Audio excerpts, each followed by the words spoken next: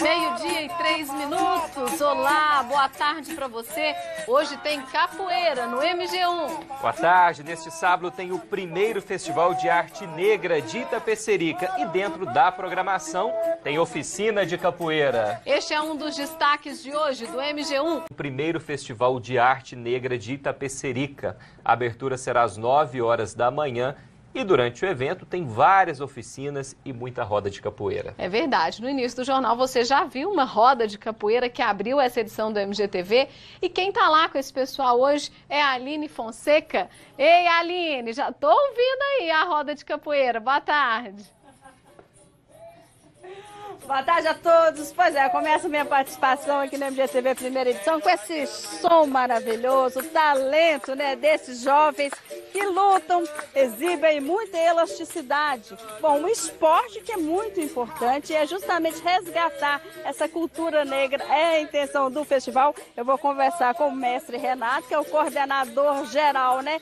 E não é só capoeira, não. Está bem diversificada a programação, mestre? Com certeza. Boa tarde, boa tarde a todos o Festival de Arte Negra de Itapecerica, essa é a primeira edição, e vem trazendo dentro da sua grade de programação uma programação bem diversificada. Vamos ter oficinas de dança afro, samba de roda, vamos ter uma mesa de debates né, com o tema Cultura de Matriz Africana e a sua inclusão e valorização na sociedade com grandes personalidades de Belo Horizonte, de Divinópolis e das cidades da região. E à noite vamos ter shows e espetáculos né, do samba de roda, dança afro. Samba de roda é o Fala Tambor, um grupo muito é, famoso né, de Belo Horizonte, a dança afro com as meninas do grupo Iaia, né? E o festival ele vem para resgatar também e fortalecer, valorizar os movimentos culturais da nossa região e principalmente a cultura de matriz africana, como a capoeira angola.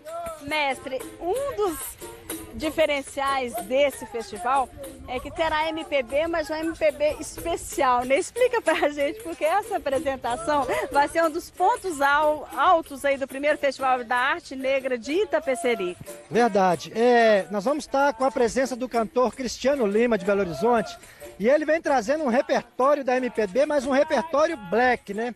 Quando a gente fala MPB black, a gente nos remete aí a Caetano, Gilberto Gil, né? Vamos lembrar aí de grandes personalidades da música brasileira negra, né? Que tem vários, é muito extenso.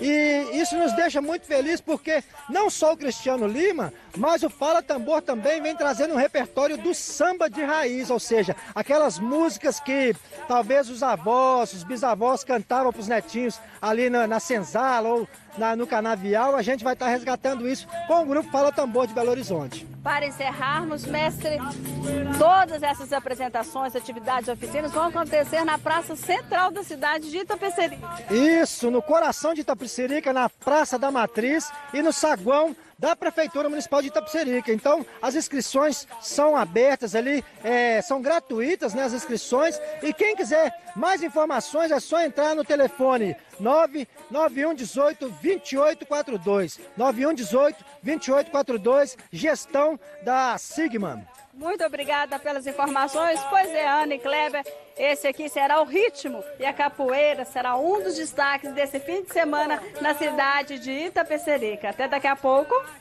Valeu, Aline. Muito legal, viu? O divertido da capoeira é que, além de lutar, o pessoal também se diverte, brinca. A gente viu isso. Né? É muito bacana, impressionante a quantidade de eventos que Itapecerica tem hoje né, no seu roteiro anual, ganhando mais um agora, que é o Festival de Arte Negra. Bacana.